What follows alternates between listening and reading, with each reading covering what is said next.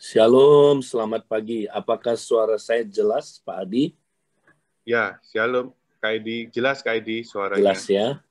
Oke, saudara, kita lanjut ya belajar yang minggu lalu.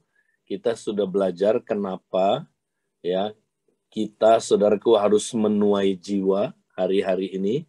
Nah, juga kita sudah belajar uh, siapa yang bisa jadi penuai yang efektif ya Nah, tentunya kita sudah belajar dari satu tokoh namanya Barnabas. Nah, Barnabas itu, saudara, adalah seorang pemenang jiwa dan bukan hanya pemenang jiwa, saudara. Barnabas itu adalah seorang pemurid yang baik. Ya, dia sangat-sangat ahli memuridkan orang, saudara. Ya, bukan hanya memuridkan, mementor orang, membapai orang ya itu Barnabas ahlinya saudara. Ya kalau nggak ada dia kita sudah tahu Paulus atau Saulus tidak jadi rasul yang luar biasa saudara. Ya kalau bukan karena Barnabas Markus sudah hancur hidupnya saudara. Markus si anak manja ya anak yang saudara ya uh, apa tidak setia saudara. Dia suka maju mundur orangnya kalau nggak ada Barnabas, Markus ya hidupnya terpuruk dan hancur. Tapi oleh karena Barnabas, Markus menjadi penulis salah satu penulis kitab Injil ya, menjadi orang yang melayani Paulus sampai akhir hidupnya Saudara, ya, dia melayani Paulus. Bahkan Saudara dia adalah penulisnya ya dari Petrus kemungkinan satu Petrus, dua Petrus dia yang tulis saudaraku. Dan yang dalam sejarah kita lihat dia akhirnya diutus menjadi rasul yang luar biasa saudara. Ya, diutus ke Afrika Utara dan akhirnya dia dibunuh mati ya mati sahid oleh suku barbar ya kemudian saudaraku sampai sekarang kuburannya ada di Alexandria Mesir Ya, saudara-saudara, jadi itulah ya peranan Barnabas. Luar biasa Barnabas ini. Nah, kenapa Barnabas bisa jadi pemenang jiwa, mentor, pemurid yang baik? Mari kita lihat ayatnya, saudara. Dalam kisah Rasul pasal yang ke-11 ayat 24, karena, ini dia pakai kata karena, karena Barnabas adalah satu orang baik, dua penuh dengan roh kudus, tiga penuh dengan iman, maka sejumlah orang dibawa kepada Tuhan. Lihat saudara, karena Barnabas punya tiga kualifikasi ini, dia jadi pemenang jiwa yang efektif. Dia membawa orang kepada Tuhan.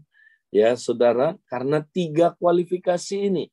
Nah tiga kualifikasi ini saudara, bisa kita miliki. Ya, ini bukan kualifikasi khusus hanya Barnabas yang bisa punya ini. Saya percaya tiga kualifikasi ini bisa dimiliki oleh semua orang percaya. Berarti kita bisa jadi pemenang jiwa seperti Barnabas, saudara. Ya, jadi mari kita belajar tiga kualifikasi ini. Nah, hari ini khusus saya mau membahas tentang penuh dengan iman. Barnabas itu penuh dengan iman. Luar biasa, Saudara. Ya. Nah, karena itu saya mau membahas ya, kenapa kita perlu hidup penuh dengan iman. itu tema saya hari ini, hidup penuh dengan iman. Nah, bagaimana kita bisa hidup penuh dengan iman? Nah, kenapa ya kita harus hidup penuh dengan iman? Berikutnya ya, ini dia kita lihat karena orang benar katanya harus hidup oleh iman. Bertolak dari iman kepada iman. Kenapa saudara? Ya karena ya kekristenan itu adalah hidup dari kasih karunia kepada kasih karunia. Ingat saudara, perbedaan perjanjian baru dengan perjanjian lama adalah ya perjanjian lama saudara ya itu hidupnya dimulai dengan ketaatan ya kepada hukum Taurat dan tidak ada seorang pun yang dapat taat kepada hukum Taurat dan menjadi benar, saudara. Nggak ada. Karena kita semua adalah pelanggar-pelanggar Taurat. Kita nggak taat, saudara. Maka Tuhan bikin perjanjian baru. Nah, perjanjian baru dasarnya bukan ketaatan lagi, saudara. Dasarnya adalah iman. Ya, kenapa, saudara? Karena tanpa iman kita nggak bisa, saudara, memperoleh semua kasih karunia yang disediakan oleh Allah. Karena perjanjian baru itu hidup berdasarkan kasih karunia. Nah, mari kita lihat Efesus 2 ayat 8 ini dikatakan. Sebab karena kasih karunia kamu diselamatkan. Apa? Karena kasih karunia kamu diselamatkan. Jadi kita diselamatkan ya karena kasih karunia, Saudara. Ya. Nah, tapi gimana cara memperoleh kasih karunia keselamatan itu? Oleh iman. Nah, ini dia. Jadi kalau nggak ada iman, kita nggak bisa menerima kasih karunia Tuhan. Ya, jadi kasih karunia itu adalah pemberian yang gratis. Ya, kasih karunia adalah hal yang mustahil kita terima dengan apa? Dengan apa, saudaraku, kekuatan kita. Ya, kasih karunia itu tidak layak kita terima, tapi Tuhan melayakkan kita menerima kasih karunia itu. Ya, Nah, saudara kasih karunia adalah juga kekuatan untuk melaksanakan ya apa perintah-perintah Tuhan. Jadi semua perintah-perintah Tuhan bisa dilaksanakan kalau ada kasih karunia. Semua ya apa saudaraku kegiatan hidup orang Kristen yaitu adalah dia hidup dalam kasih karunia kepada kasih karunia. Iya kan? Coba saudara, semuanya karena kasih karunia. Ada lagunya kan? Semua karena apa? Ya, anugerahnya. Ya, semua karena anugerah. Nah, saudara, kita selamat karena kasih karunia. Kita sembuh karena kasih karunia. Kita dilepaskan karena kasih karunia. Kita hidup menang karena kasih karunia. Kita bisa pulih keluarganya karena kasih karunia. Kita bisa pulih, saudaraku, keuangan kita karena kasih karunia. Bisnis kita bisa dijalankan dengan baik karena kasih karunia, saudara kita bisa melayani di KKR dengan pelayanan kuasa itu karena kasih karunia. Semua karena kasih karunia. Nah, saudaraku, karena itu bukan oleh kekuatan kita. Kasih karunia. Nah, tapi gimana cara memperoleh kasih karunia? Cuma satu aja, saudara. Ya, cuma satu aja. Oleh iman. Oleh iman. Ya kan? Kasih karunia itu diperoleh karena iman, sudah oleh iman. Ya, saya kasih ilustrasi supaya kita nangkep, saudara ya. Nah, misalnya ya kemarin saya udah singgung ini, Yongki utang saya, sorry, Yongki utang orang satu triliun rupiah, ya satu triliun, ya. Saya yakin saudara satu triliun itu banyak, ya. Kalau Yongki kerjanya cuma biasa-biasa aja, saudara. Ya, kerjanya biasa-biasa aja. Dia nggak mungkin bayar utang satu triliun seumur hidupnya. Ya kan? Kalau dia biasa-biasa aja, bukan pengusaha yang ya yang top gitu ya. Nah, apa yang terjadi, saudara? Biar dia kerja seumur hidupnya sampai mati, ya, bangkit lagi kerja seumur hidup, mati, bangkit lagi, kerja lagi seumur hidup sampai mati. Tiga kali mati bangkit nggak bisa bayar, saudara. Satu triliun itu. Utangnya. Ya ini contoh aja. Nah, saudara, tapi kemudian saya datang sama Yongki. Saya bilang begini, Yongki, saya punya uang satu triliun. Dan saya mau kasih kamu ya uang satu triliun itu. Ini bukan pinjem ya Yongki, ini kasih saya akan beri cuma-cuma. Ya, nggak ada syaratnya. Pokoknya ya saya kasih kamu ini bukan pinjaman saya berikan. Oke, kamu setuju? Nah, Saya punya uangnya dan saya mau memberikannya. Nah, dasarnya Yongki bisa terima kasih karunia saya ini, pemberian saya yang gratis ini, saudara. Apa dasarnya? Cuman satu, dia percaya. Ya, percaya aja, saudara. Nah, ketika dia udah percaya, baru dia bertindak mengambil uang itu, ya kan? Nah, jadi dia mesti percaya dulu. Itu dasarnya, saudara. Kalau nggak percaya, ya dia nggak bisa dapat, saudara. Walaupun kasih karunia-nya udah ada, ya uangnya udah ada, udah ada pada saya, tapi dia nggak bisa terima karena nggak punya iman, nggak percaya, saudara, nggak bisa dapat. Nah demikian juga dalam kekristenan, semua yang Tuhan janjikan, yang Tuhan mau beri itu sudah ada, saudara. Sudah ada seperti uang satu triliun itu. Sudah ada pada saya. Ya sudah ada di bank. Ya sudah ada. Nah maka saudara Yongki ya bagiannya cuman percaya dulu itu. Kalau dia nggak percaya dia nggak bisa dapat saudara ya. Nah karena itu Yongki mesti ya punya iman. Nah itu dia saudara. Nah kita waktu percaya Yesus saudara kita diberi iman yang pertama. Iman yang pertama itu namanya iman keselamatan. Nah, dari iman keselamatan itu, saudara, kita bertolak dari iman kepada iman. Bertolak dari iman keselamatan kepada iman-iman lainnya. Nah, iman-iman lainnya, saudara, ya itu Tuhan juga mau berikan kepada kita. Nah, tapi ada bagian kita. Kita mesti, saudaraku, ya mengerti bagaimana hidup dalam iman. Ya, nah itu kita perlu ngerti. Nah, inilah Barnabas, Saudara. Barnabas itu dia ya, Saudara penuh dengan iman. Wow, luar biasa. Ya, dia bertolak dari iman kepada iman. Hidupnya penuh dengan kasih karunia, Saudaraku. Karena iman, ya. Nah, jadi Saudara, kita perlu belajar bagaimana kita ya saudaraku hidup penuh dengan iman ya nah jadi apa aja yang kita lakukan harus dasarnya iman. Coba ayat ini bilang apa saudara? Roma 14 ayat 23 tetapi barang siapa yang bimbang kalau ia makan ia telah dihukum. Ya saudara bimbang.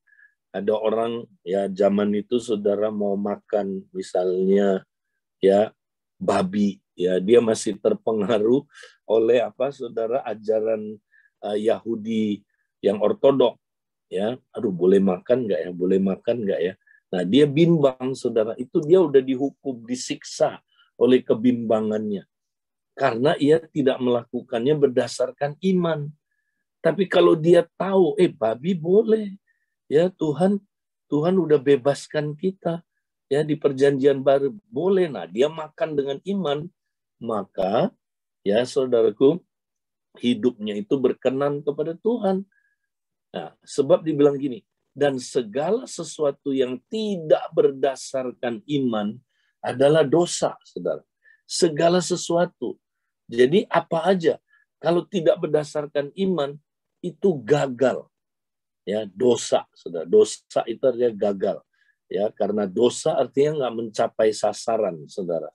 Ya jadi saudara banyak sekali orang hidupnya gagal karena mempraktekkan kekristenan tidak dengan iman ya contohnya saudara mana mungkin kita ngampuni orang ya 70 kali tujuh kali sehari terhadap orang yang sama, dosa yang sama, mana mungkin kekristenan itu mustahil dipraktekkan dengan kekuatan kita. Harus dipraktekkan dengan iman. Nah itu saudara, dengan iman. Kalau saudara nggak percaya itu bisa, ya nggak, saudara nggak akan bisa ngampuni orang sebanyak itu. Percaya nggak saudara bisa? Nah itu. Jadi kalau saudara nggak percaya, ya nggak terjadi. Sama kayak tadi, saudara nggak percaya, saya ya punya uangnya. Nah, bukan hanya itu. Saudara harus percaya saya punya uangnya dan mau memberikan kepada saudara. Mau. Dan bu itu saudaraku. Ya, jadi saudara, iman itu saudaraku adalah ya saudaraku kunci untuk kita hidup dalam kasih karunia. Ya, kasih karunia. Jadi semua perjanjian baru hidup itu adalah karena kasih karunia. Nah, sekarang saudara, kita mau belajar definisi iman. Ini cukup lengkap. Next. Apa itu iman, saudara? Ya, oke. Ini dia iman, saudara. Iman adalah dasar dari segala sesuatu yang kita harapkan dan bukti dari segala sesuatu yang tidak kita lihat. Ya, kemudian ayat 3, ini bagus Saudara. Karena iman kita mengerti bahwa alam semesta di, telah dijadikan oleh firman Allah sehingga apa yang kita lihat telah terjadi dari apa yang tidak dapat kita lihat. Ya, Saudara, dari dua ayat ini ya kita boleh mempelajari definisi iman yang cukup lengkap. Ya, belum semuanya, tapi ini mungkin 80% dari definisi iman sudah masuk di sini, Saudara. Nah, mari kita akan belajar ya satu-satu poin ini, Saudara. Nah, apa itu iman? Nah, ayatnya bilang iman adalah dasar dari segala sesuatu yang kita harapkan. Nah, itu dulu. Dasar dari segala sesuatu yang kita harapkan. Nah, yang kita harapkan, saudara, itu adalah janji Tuhan. Nah, itulah anugerah-anugerah yang sudah tersedia. Tuhan itu kalau berjanji, saudara, itu udah ada. Janjinya itu udah ada di alam roh.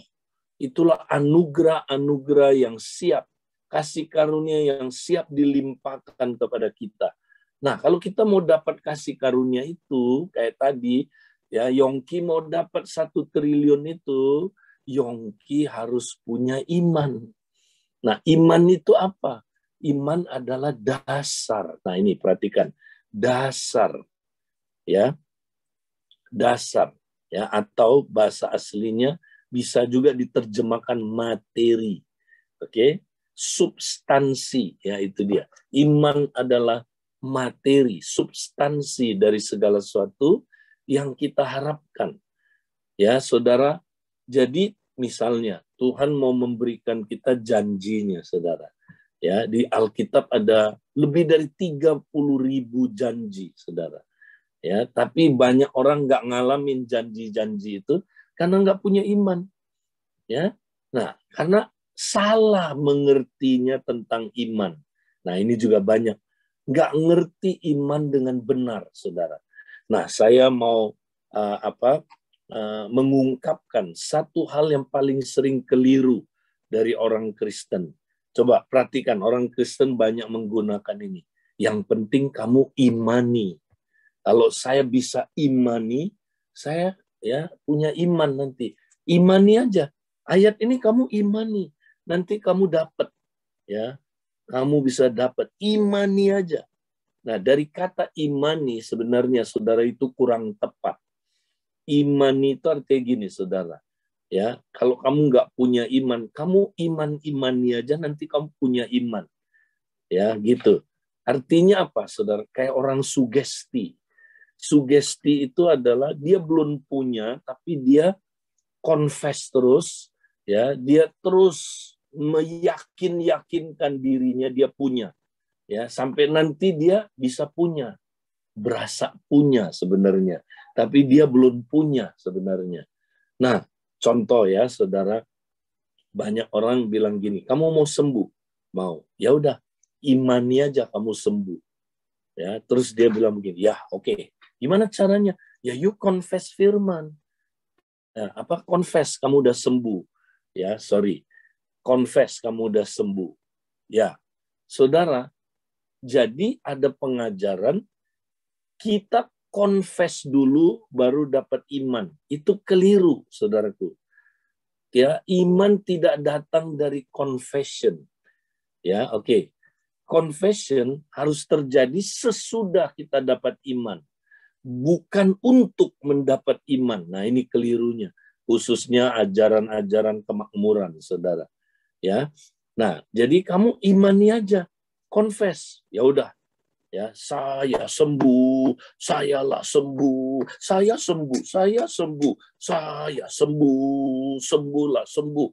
Ayo sembuh, sembuh. Ya, itu bukan iman, saudara. Itu adalah apa? Sugesti. Ya, sugesti itu sesuatu yang enggak ada. Ya, kita yakin yakinkan sampai kita merasa itu ada. Nah, saudara itu sugesti. Pada dasarnya dia nggak punya iman, saudara. Dia nggak dapat iman. Ya, kenapa? Dia cuma merasa ada iman karena sugesti. Saya percaya saya percaya sembuh, sembuh, sembuh, sembuh, sembuh, sembuh, sembuh. Nah, itu saudara bukan iman, itu sugesti. Ya, terus ada orang lagi saudara ya pakai ngeden. Ya, waktu doain orang sembuh. Ya, kurang, kurang. Sembuh. Kurang. Iya, sembuh. Waduh, kurang, kurang. Sembuh. Iya, sembuh. Kamu kurang usaha sih, makanya nggak sembuh orang itu. Doanya lebih usaha, lebih sungguh-sungguh. Sembuh. Nah, itu ngeden namanya, saudara. Itu cuman cocok waktu kita ke WC, saudara ya. Iman itu nggak perlu ngeden, nggak perlu. Kalau udah ada, nggak perlu ngeden, ngomongnya pelan aja, saudara. Sembuh. Jadi sembuh, saudaraku. Ya, kalau ada iman. kalau nggak ada iman, nah keluarnya urat leher kan. Sembuh. Keluar setan. Keluarnya yang keluar urat leher. Ya, setannya mah nggak keluar, saudara. Nah itu kenapa? Karena kita banyak sekali yang punya pengertian yang salah tentang iman. Iman bukan sugesti. Iman nggak perlu ngeden, saudara. Ya, baca saat teduh saya hari ini, saudara ya. Nah, di situ saudara, iman itu gimana dapatnya? Sederhana sekali, saudaraku ya. Iman itu adalah sebelumnya ya, masih terus. Ya, iman itu da dasar. Ya, dasar. Harus ada dasarnya atau materi. Nah, saya bahas dasar dulu ya, saudara.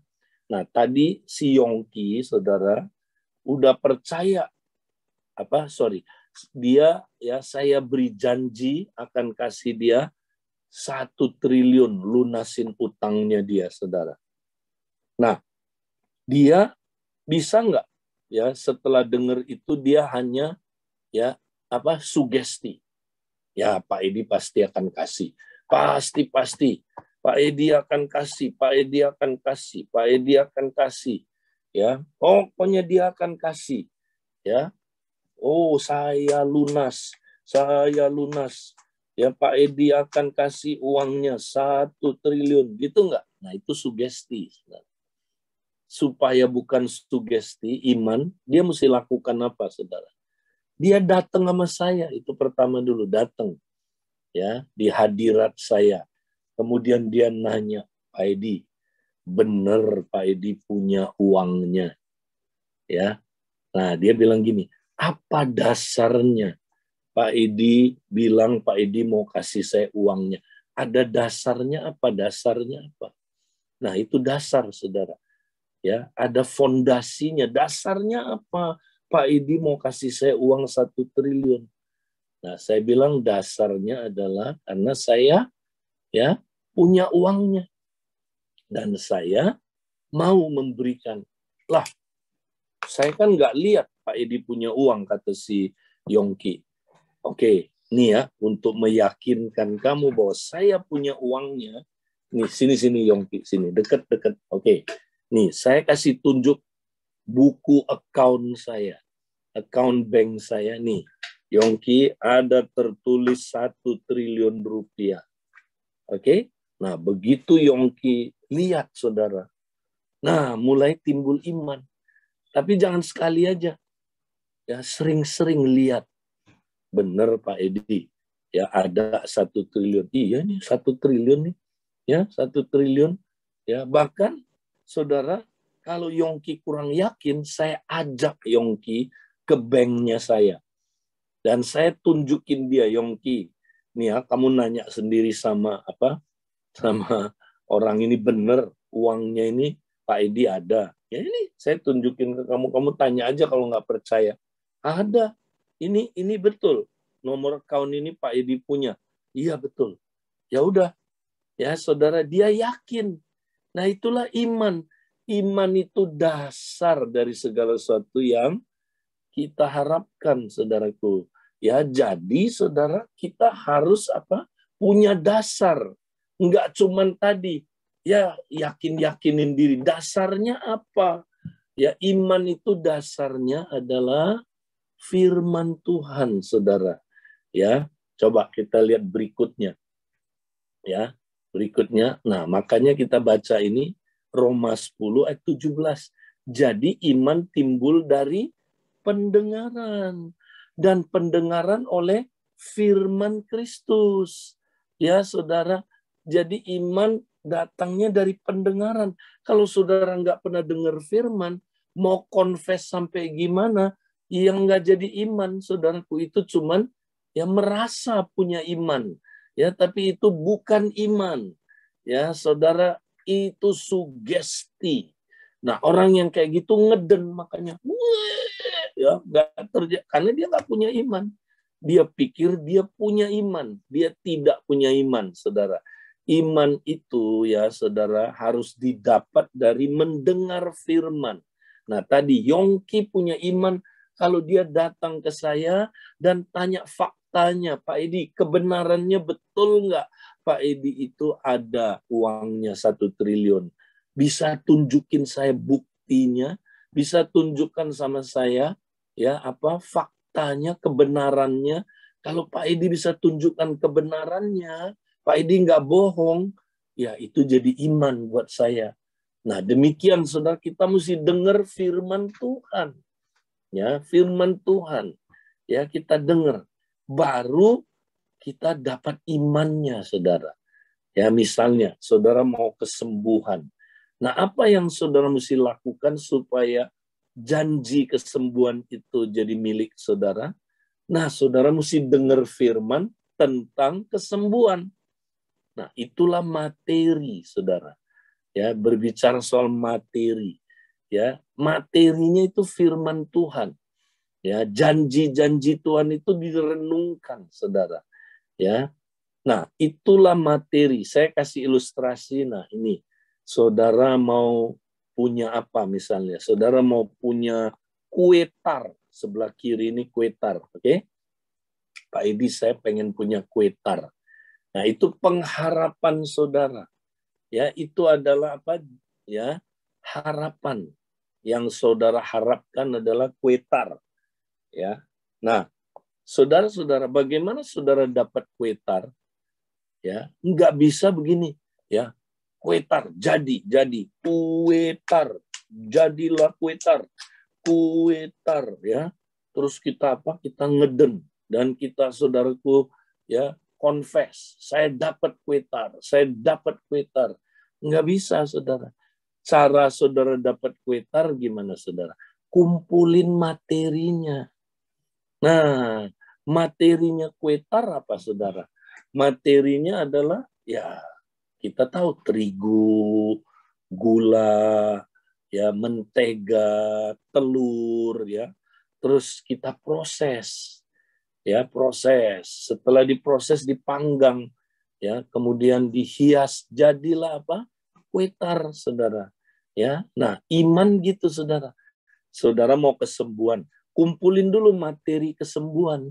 Ya, baca ayat-ayat tentang kesembuhan Baca, baca aja, nggak usah ngeden, saudara. Baca, ya. Nah, nanti kita lihat cara bacanya gimana. Belajar dari Abraham merenungkan janji Tuhan. Ya, baca aja, saudara. Baca. Ya, jangan sekali terus renungin. Ya, ayat-ayat tentang kesembuhan. Ya, terus fakta-fakta kebenaran-kebenaran tentang kesembuhan. Misalnya Yesus mau sembuhkan ya penyakit apa aja. Nah kalau itu saudara nggak pernah renungin, ya saudara ragu-ragu mau nggak ya Tuhan, ya nah, penyakit ini bisa nggak ya Tuhan sembuhin? Dia mau nggak ya? Nah, karena saudara nggak pernah renungin, ragu lah. Ya, makanya saudara nggak terjadi kesembuhan karena saudara tidak percaya. Kenapa saudara tidak percaya? Nggak ada materinya. Saudara nggak pernah kumpulin materinya. Renungin dong. Ya, Nah, saudara contohnya penyakit itu kita tidak syafaati, ya, tapi kita apa? Perintahkan sembuh. Ya, itu itu firman yang saudara mesti dengar, ya. Nah, makanya cara doakannya bukan doa syafaat. Makanya kalau saudara doa syafaat nggak terjadi kesembuhan, diperintahin sembuh, ya penyakit pergi kayak perintahin gunung itu, ya saudara. Nah itu saudara mesti renungin nggak pernah renungin, ya nggak ada imannya, saudara. Nggak kumpulin materinya, ya nggak jadi kuetar. Nah sekarang, ya materi kuetar beda sama materi beton. Nah ini sebelah kanan ini tiang beton. Kalau saudara mau jadi mau punya tiang beton, apa materinya? Nggak bisa terigu, telur, nggak bisa lah.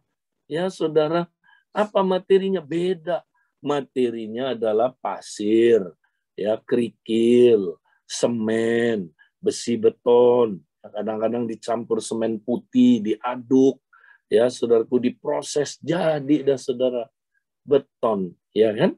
Nah, materi beton beda sama materi apa? Materi kuetar. Ya, demikian juga materi kesembuhan beda sama materi kekudusan. Ya, Makanya ada gereja, saudara, karena nggak pernah kumpulin materi kesembuhan, dia cuman kumpulinnya materi kekudusan. Gereja itu kudus, tapi nggak ada yang sembuh-sembuh di gereja itu. Nggak ada, jarang kesembuhan. Nggak punya iman, gimana bisa sembuh? Nah, sebaliknya, ya saudara, ada gereja, ya saudaraku, yang percaya kesembuhan. Terjadi banyak kesembuhan tapi jarang kumpulin materi untuk kekudusan. Nah, makanya gereja ini walaupun banyak yang sembuh, tapi hidupnya morat-marit, hancur, nggak kudus. Ya, kenapa? Karena nggak pernah kumpulin materi kekudusan. Nah, jadi saudara, tiap-tiap janji Tuhan materinya berbeda. Harus kita kumpulkan sesuai dengan janji itu ya. Nah makanya dibilang kita bertolak dari iman kepada iman ya. Berarti tiap janji Tuhan harus ada imannya ya. Itulah yang disebut orang benar hidup oleh iman saudara. Dari iman kepada iman. Nah kalau kita udah kumpulin materinya saudara ya atau dasar kebenarannya udah kita dapat saudara maka nanti dia otomatis akan jadi iman, saudara. Bang! Begitu dia jadi iman, nah berikutnya terjadi apa, saudaraku? Ya, kita bisa next. Kita lihat lagi, saudara, berikutnya. Nah, maka kita sekarang bisa ngalamin definisi yang kedua. Next, satu lagi. Ya, iman adalah bukti. Ya, jadi saudara, kalau kita udah punya dasarnya, kita nanti akan ya punya bukti. Nah, bukti itu apa, Saudara? Iman adalah bukti. Ya, yang tadi, Saudara. Kalau Yongki ya udah dengar janji saya, Yongki, saya mau kasih kamu apa? Ya, saya mau kasih kamu uang satu triliun. Nah, apa dasarnya dia dapat menerima itu? Kalau dia percaya iman. Nah, bagaimana dia percaya? Kalau dia datang ke hadirat saya, nanya sama saya, ya. Nah, Pak Edi, apa dasarnya Pak Edi mau kasih saya uang satu triliun dan saya pasti dapat, ya. Ini dasarnya yang ini lihat buku bank ini, ini dasarnya. Ya, dasarnya fakta. Dasarnya adalah kebenaran. Ya, ini kebenaran. Ya, liwat buku ini kamu bisa lihat saya punya uang. Saya punya ya karena udah tercatat di satu triliun nggak percaya yuk kita ke bank lihat lagi nanya bener nggak ini account saya nggak palsu ya kalau bener ya nah berarti ya Pak Yongki sudah lihat dia udah lihat saya punya uangnya, saudara. Kenapa? Dari bukti ini. Nah ini bukti. Ya saudara, bukti itu apa? Account saya. Ya bukti itu ya ketika diteguhkan sama orang bank, benar. Ya itu adalah kebenaran bahwa Pak Edi udah punya uangnya. Nah saudara demikianlah iman. Iman itu bukti. Maksudnya gini, iman dapat melihat apa yang sudah ada di alam roh yang sudah dicipta oleh firman. Sama kayak tadi Pak Yongki. Ya dia percaya bahwa saya punya uangnya. Udah ada. Walaupun dia nggak lihat, udah ada di bank. Ya, Mana? Nah, buktinya ada tadi, bukti. Ya, yaitu saudara account saya. Ya, saya kasih lihat buku bank tadi saya. Ya, itu bukti, saudara. Lewat dia lihat ini buku bank saya, dia tahu saya punya uang. Dia udah lihat, ada ini uangnya Pak Edi nggak bohong. Nah, demikianlah kalau saudara terus renungin firman, ya begitu saudara dapat materinya udah komplit, dapat imannya saudara, saudara bisa lihat, wah itu udah ada. Saya udah sembuh orang yang saya doakan sudah sembuh. Ya, kenapa? Nah, kita lihat Saudara, ya. Kita lihat di dalam uh, ayat ini. Karena iman kita mengerti, ya. Karena iman kita bisa mengerti ini. Mengerti apa? Bahwa alam semesta telah dijadikan oleh firman Allah sehingga apa yang kita lihat telah terjadi dari apa yang kita tidak dapat lihat. Nah ini saudara. Jadi cara Tuhan mencipta apa saja, ya saudara, caranya dia berfirman. Ya, jadilah terang. Langsung terang itu udah ada, saudara. Di mana? Cuman di alam roh. Kita nggak bisa lihat. Udah ada tapi. Tinggal dipindahin ke alam nyata. Nah, iman dapat melihat apa yang difirmankan Tuhan itu sudah ada. Semua janji-janji Tuhan itu udah ada, saudara. Karena itu berdasarkan firman. Tuhan kalau ngomong, ya jadi terang, jadi saudara. Jadilah cakrawala, jadi. Jadilah saudaraku benda-benda di langit, jadi. Jadilah manusia. Ya, jadi binatang dulu, jadi.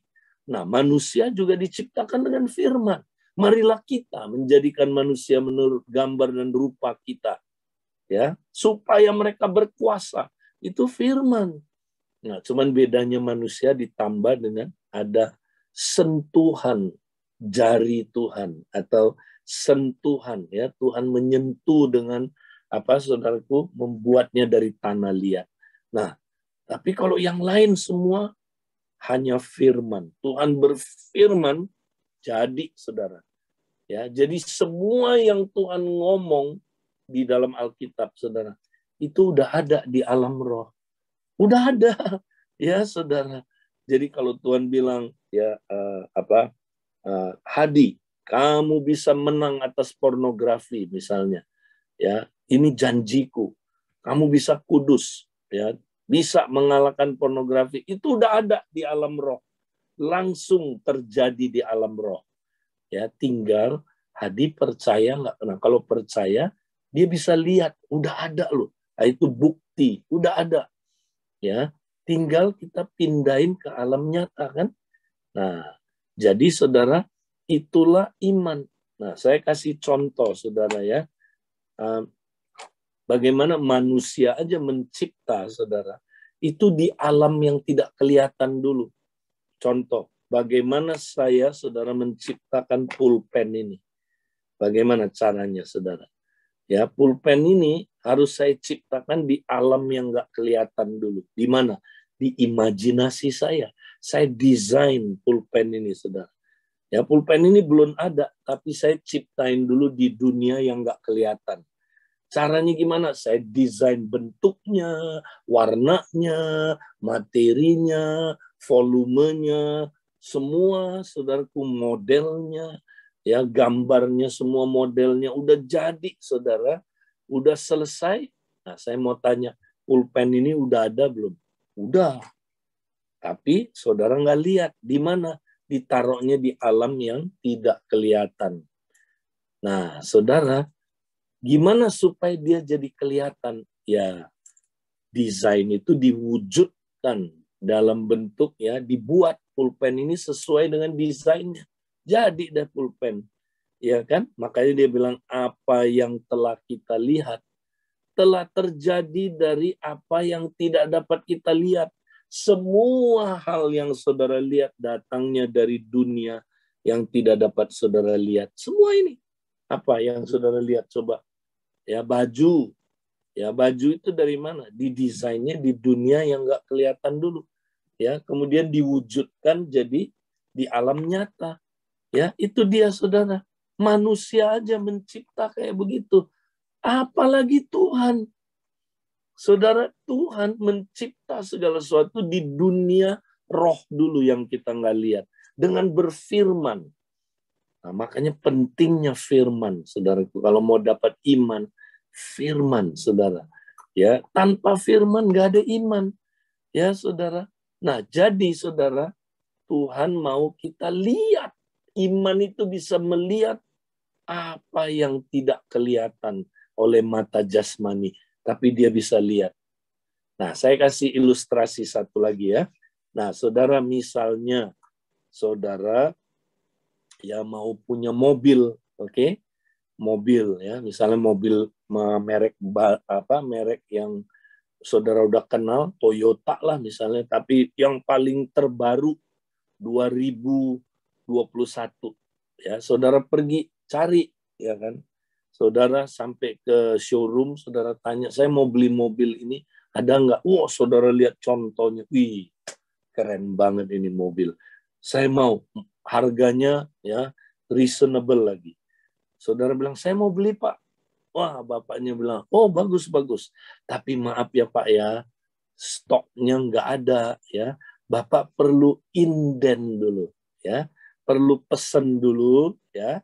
Bapak bayar dulu ya Nah nanti mobilnya itu, ya ini hanya ilustrasi ya saudara, bayar dulu, nanti mobilnya baru dikirim dari Jepang ke sini. ya. Nah saudara kemudian saudara setuju, wah saudara bayar.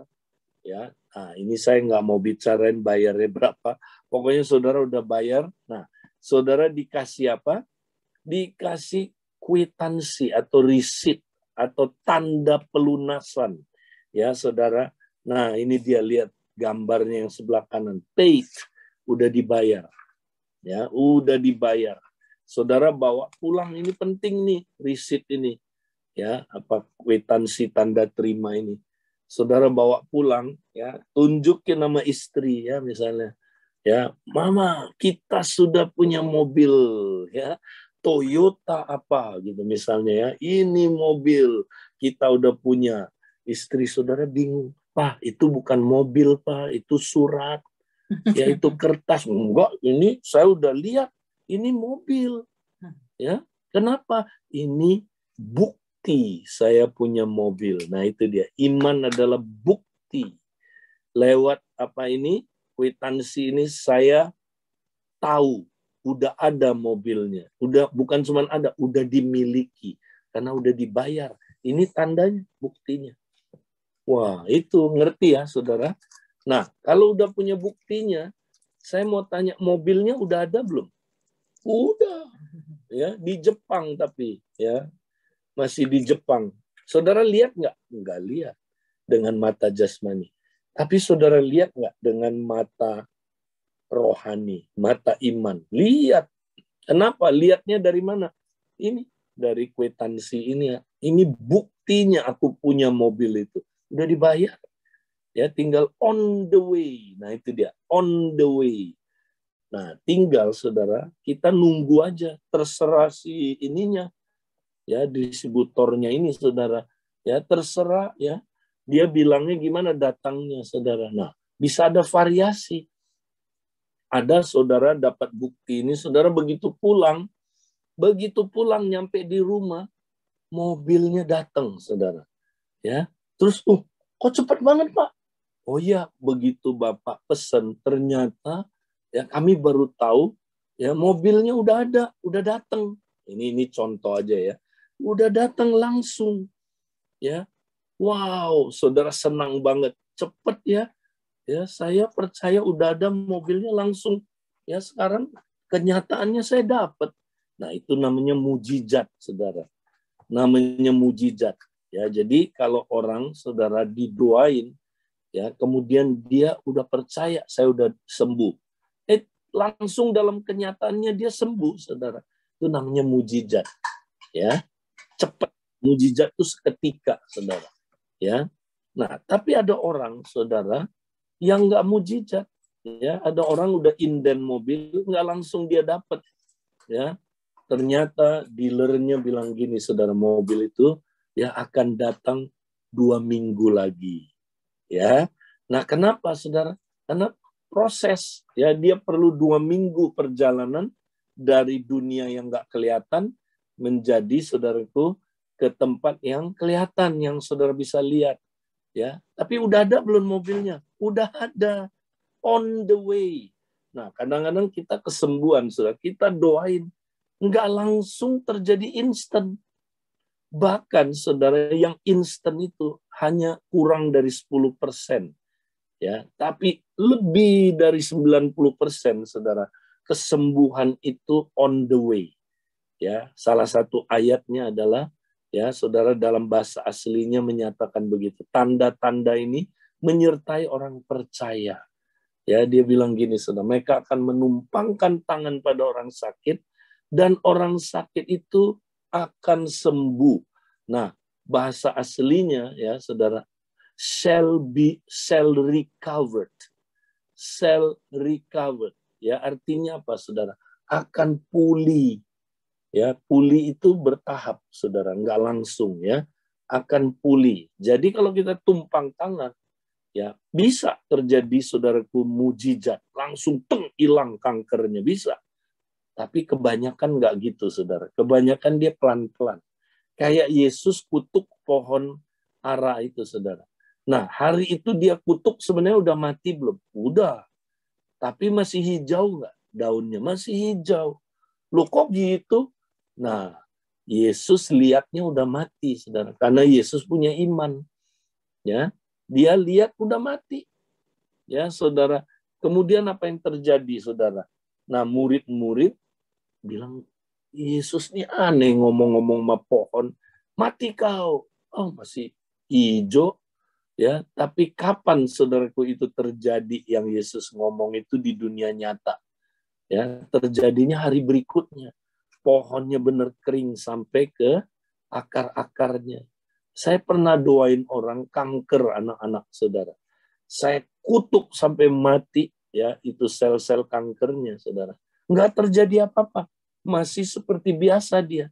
Tapi saya percaya udah mati. Udah mati kayak pohon ara itu tinggal on the way. Ya, eh benar saudara. Dua tiga minggu kemudian saya lupa dua apa tiga minggu dia telepon saya. Pak Edi, kankernya saya cek lagi dokternya sampai kaget kok keringnya ya kok mati ya. Nah, saudara akhirnya dia sembuh. Nah, saudara perhatikan saudara. Jadi ada orang ya apa yang dia lihat udah ada, tapi datangnya dua minggu kemudian mobilnya baru datang. Nah, ada yang saudara, ya dia perlu waktu lebih lama. Kenapa? Karena di tengah jalan, waktu mobilnya datang dari Jepang dikirim, ada bajak laut, saudaraku. Ya perang dulu, ya perang sama bajak laut.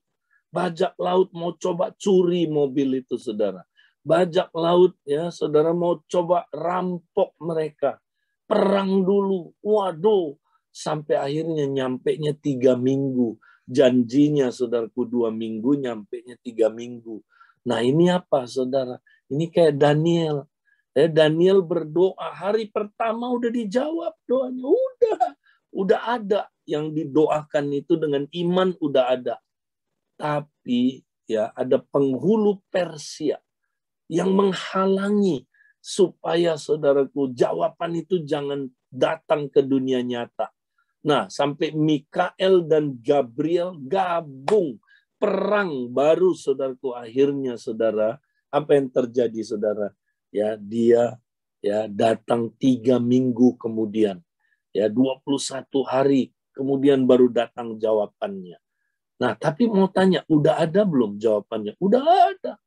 Nah, kita kalau udah doa dengan iman, ya kita udah lihat, ya kita udah punya bukti, ya percayalah itu sudah terjadi, saudara.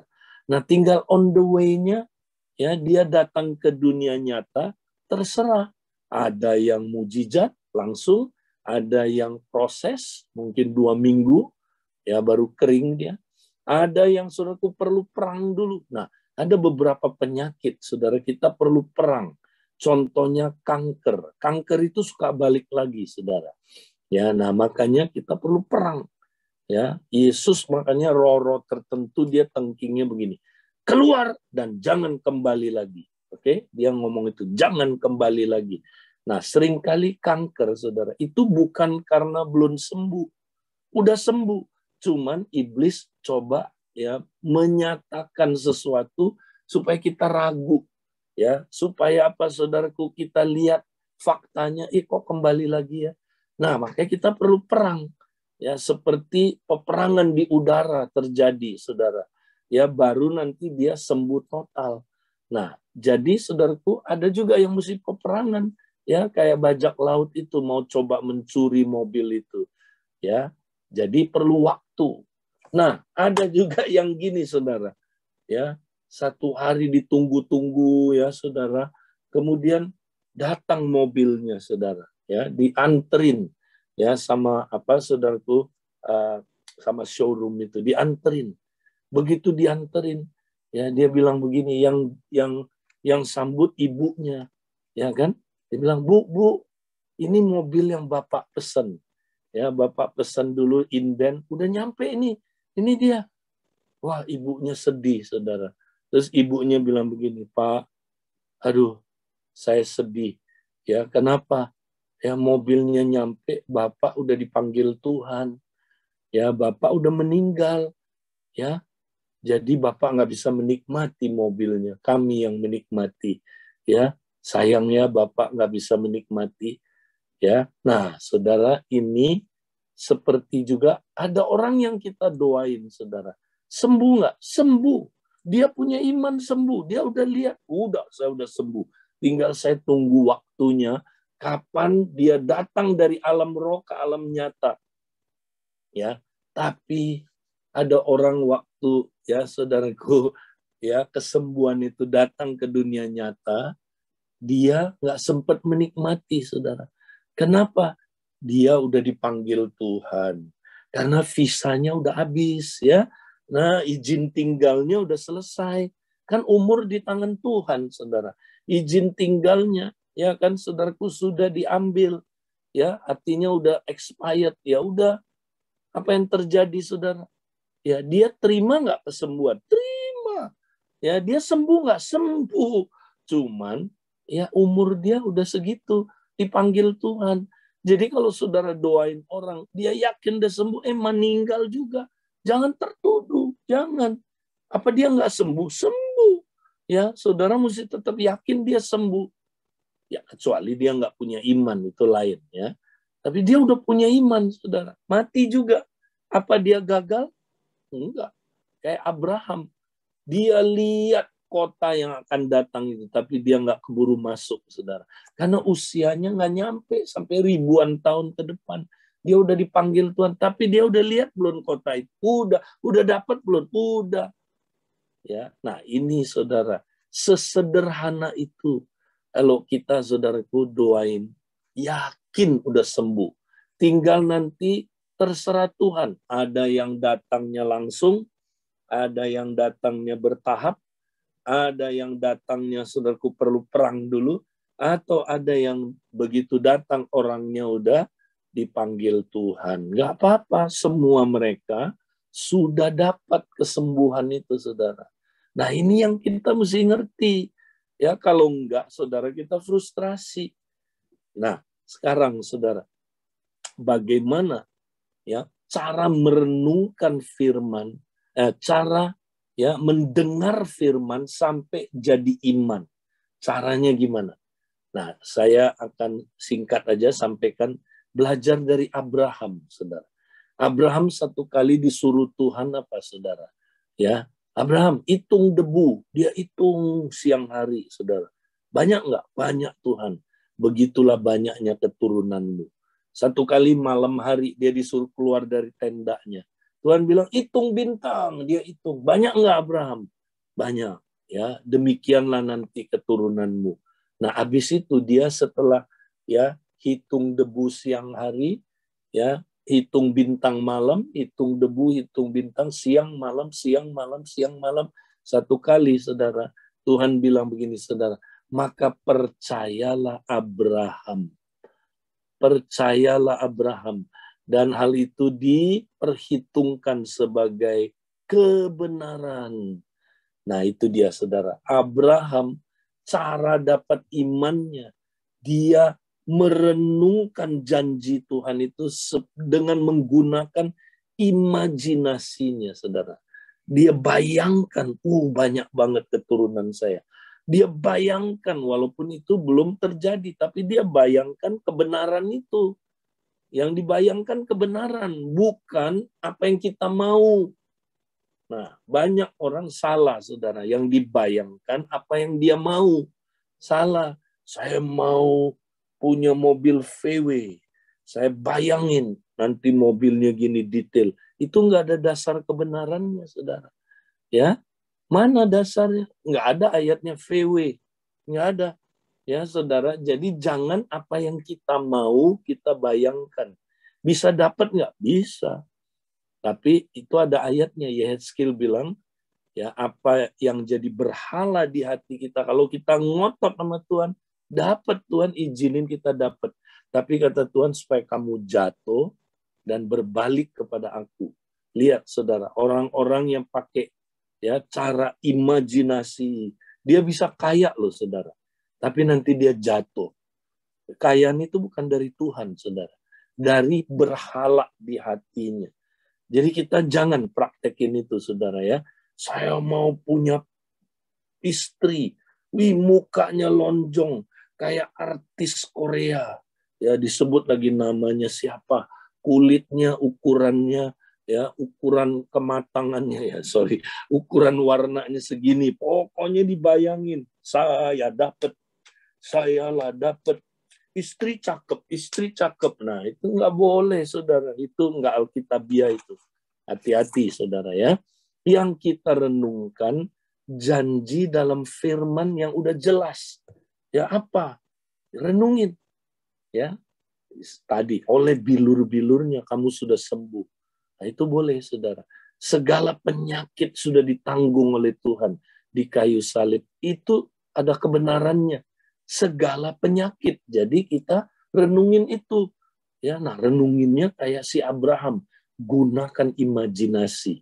Jadi tidak salah menggunakan imajinasi. Tidak salah saudaraku membayangkan janji Tuhan. Yang salah yang kita bayangkan bukan janji Tuhan, tapi apa yang kita mau. Kamu mau apa? Renungkan. Kamu mau apa? Nah, mau itu bahaya. Mau itu nanti bisa dari daging, saudara. Mau kaya, padahal ayatnya bilang, janganlah kamu menginginkan ya kekayaan. Jangan kamu ingin kaya. Lu ada ayatnya. Tapi kita enggak, kita lawan. Saya mau kaya, mau kaya. Nah, di situ salahnya di situ, saudara. Ya, jadi kita harus ngerti iman itu saudara yang palsu, yang nggak benar, atau iman sejati. ya. Nah, jadi renungin seperti Abraham. Terus satu lagi saudara. Nah, yang terakhir, iman mesti ditambah perbuatan. Baru dia jadi iman yang aktif. Namun karena kami memiliki roh iman yang sama, seperti ada tertulis, aku percaya, sebab itu aku berkata-kata. Maka kami juga percaya dan sebab itu kami juga berkata-kata. Ya, nah saudara, ini ayat diambil ya dari Mazmur ya, di mana saudaraku itu Mazmur mesianik ya berbicara tentang waktu Yesus menghadapi kematian, saudara. Ya, dia sedang menghadapi kematian, dia takut sekali secara manusia takut. Ya, tapi kemudian saudaraku, ya dia ngomong begini, aku percaya karena itu aku berkata-kata. Ya, Saudara, artinya gini. Ya, aku percaya Bapak tidak akan membiarkan aku ada di alam maut ini. Bapak akan bangkitkan aku. Pasti aku akan bangkit. Walaupun aku mati, aku akan bangkit sesudah itu. Ya, karena karena aku percaya, aku berkata-kata, aku pasti bangkit. Nah, konteksnya ini Paulus ngomong ketika dia menghadapi begitu berat, saudaraku, penuh penderitaan hidup ini. Ya, nanti saudara baca di 2 Korintus 4.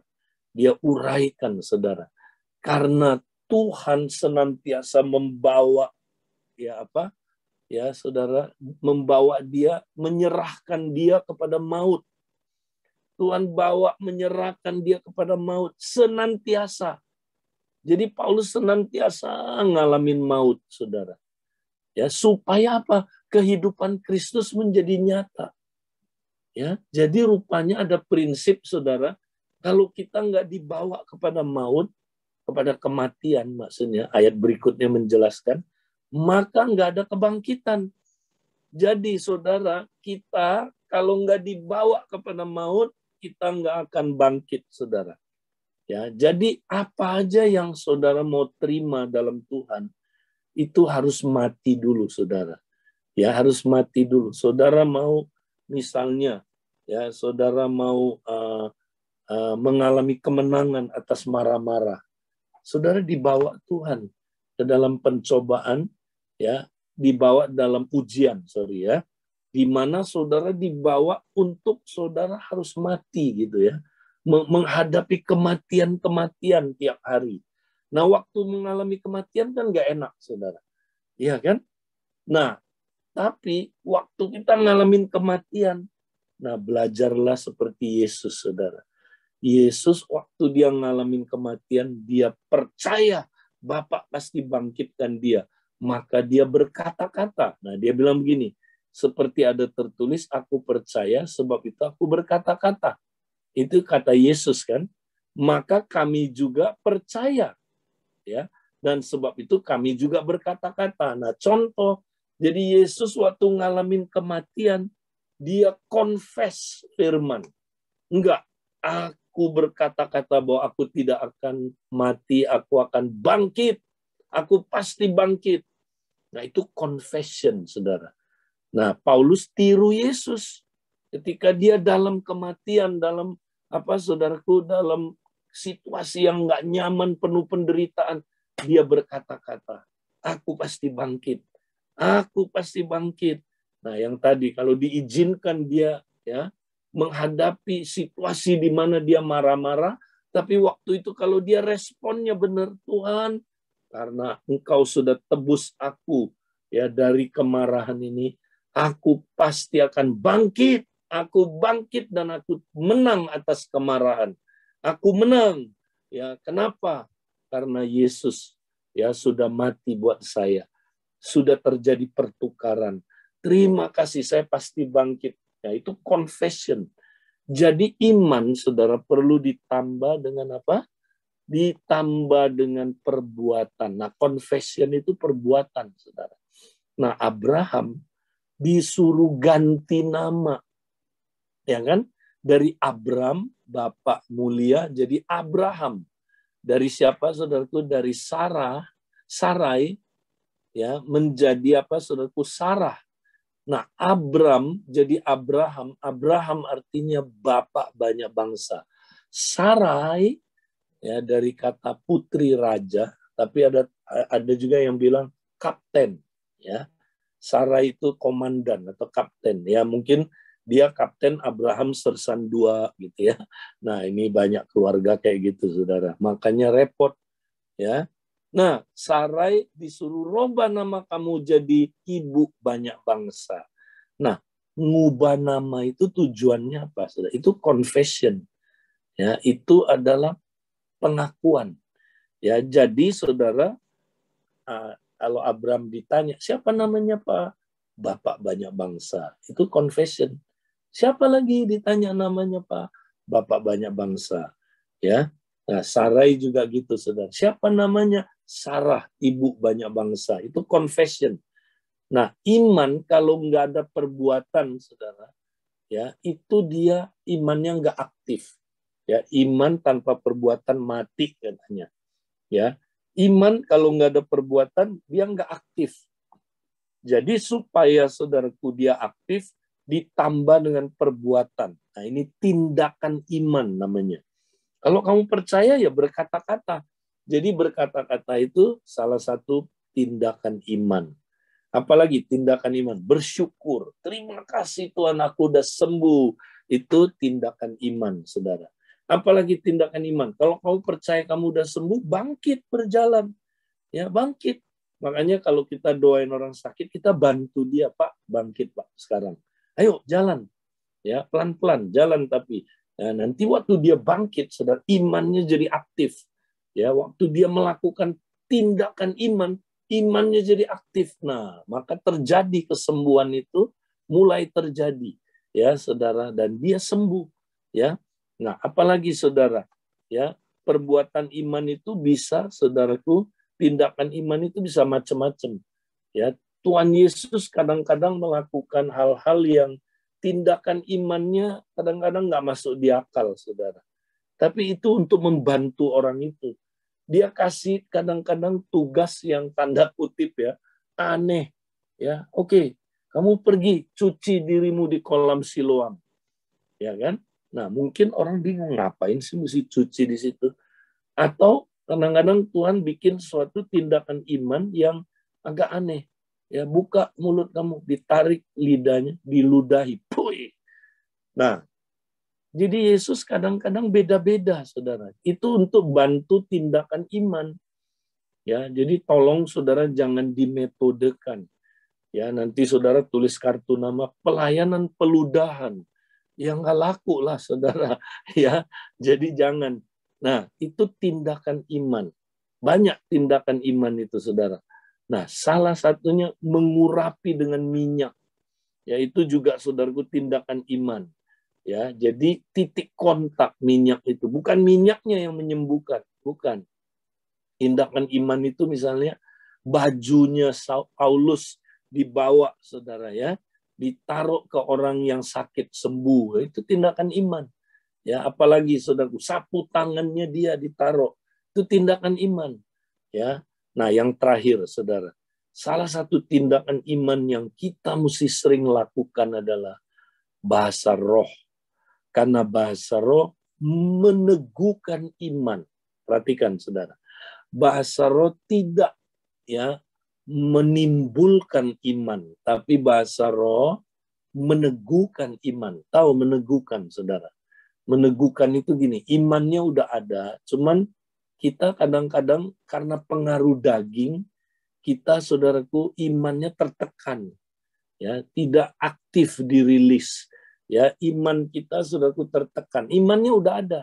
Nah, bahasa roh saudara membuat kita shifting dari daging kepada roh sehingga daging itu ditekan saudaraku dan kita berbahasa roh Nah, waktu kita berbahasa roh, iman kita diteguhkan, bukan bertambah ya, diteguhkan iman itu ada apa enggak ada, saudara.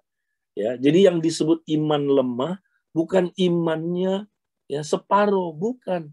Imannya udah ada, tapi dia masih dikuasai oleh kedagingan. Sehingga imannya itu jadi nah lemah. Di sinilah yang disebut lemah itu. Dia dikuasai, saudara. Tapi imannya ada. Ya, Nah, waktu Petrus jalan di atas air, saudara, itu dia udah ada imannya. Karena dia bilang, Tuhan berkatalah ya supaya saya berjalan di, di kepadamu, datang kepadamu. Berkata, saya bisa jalan di atas air. Nah itu Yesus bilang, datanglah. Nah dia langsung dengar firman itu, muncul iman. Dia jalan. Dia udah punya iman belum? Udah.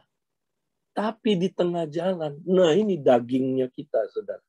Dagingnya kita ya suka ya membuat kita tidak fokus ke iman kita, kita fokus ke lingkungan kita, ketakutan.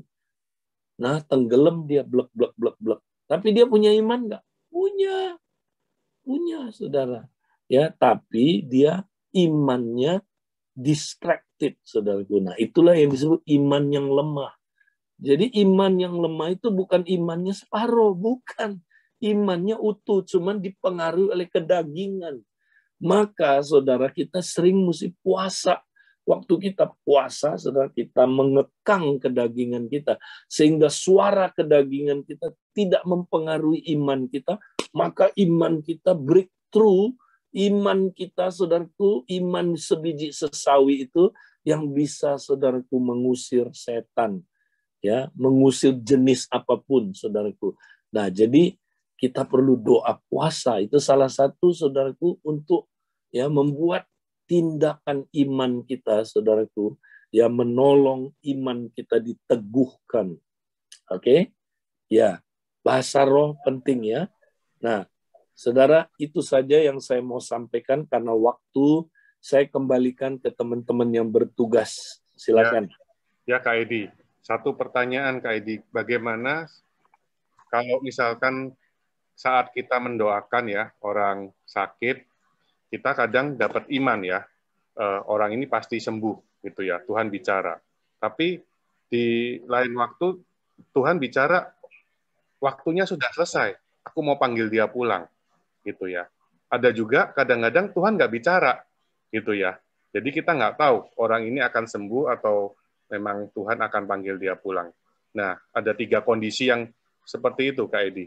Uh, bagaimana ya. kita meresponinya? Ya. Ya, jadi kita ingat kesembuhan udah ada belum? Udah ada. Buat siapa? Buat setiap orang, ya kan? Yang yang dia tebus, ya kan? Yesus tebus kita Bahkan orang tidak percaya pun Tuhan mau sembuhin, ya kan? Nah, jadi kita kalau orang kita dapat misalnya dia udah mau mati, kita tetap doain karena kesembuhan buat dia. Ngerti ya? Nah, terima kesembuhan. Perkara dia terimanya langsung, berproses, perang dulu, atau nanti dia ternyata dipanggil Tuhan. Ya nggak apa-apa, kan dia udah dapat kesembuhan itu. Cuman bukan sekarang dia dapatnya nanti kan. Karena usianya udah waktunya. Kita tetap doain dia sembuh. ya. Nah, nanti dia dipanggil Tuhan ya puji Tuhan memang waktunya udah habis kan. Gitu. Oke. Okay? Jadi tugas kita doakanlah orang sakit ya.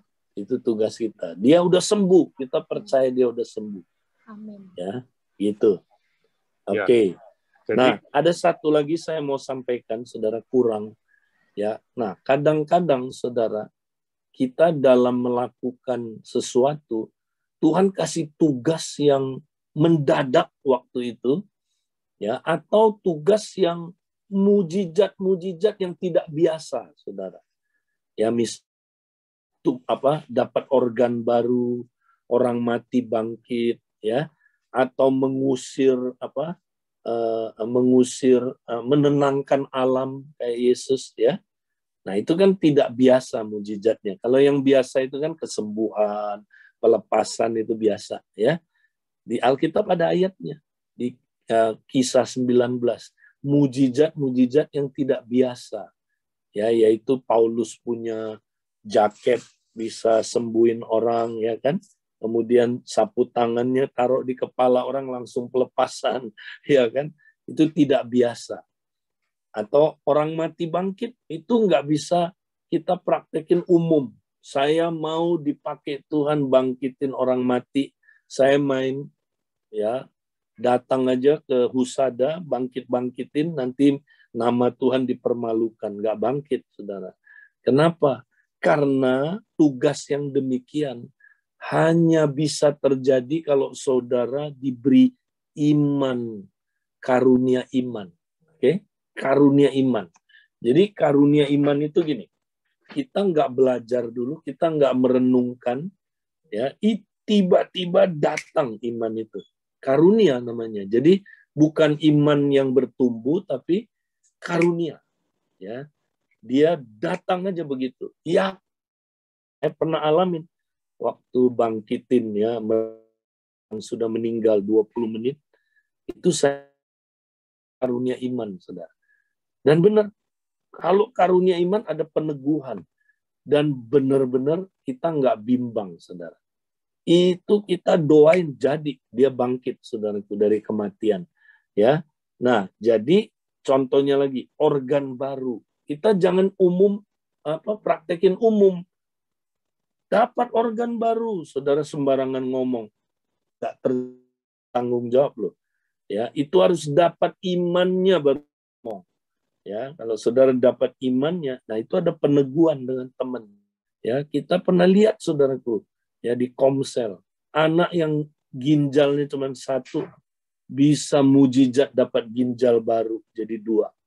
Ya, saya pernah dengar saudaraku ya, didoakan lever baru dapat waktu COVID ini saudara.